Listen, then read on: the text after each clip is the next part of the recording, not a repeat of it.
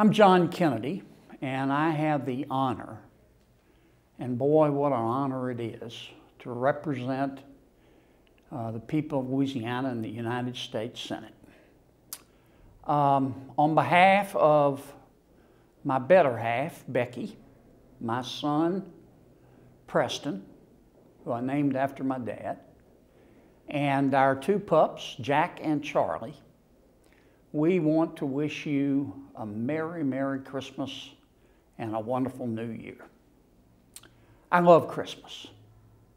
Um, from an earthly perspective, I, I love Christmas because uh, hurricane season is over. I love Christmas because I get to be with my family and my friends. Uh, I love Christmas because it makes me happy.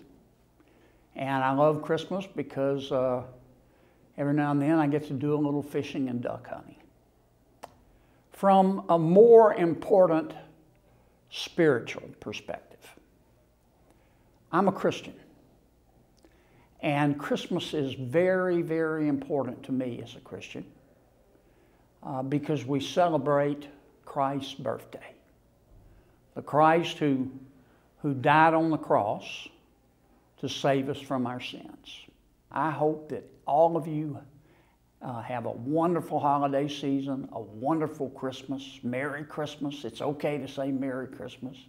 I wish you all peace and joy and wisdom and courage and faith and especially love. Thank you so much. God bless you. God bless Louisiana. And God bless America. And Merry Christmas.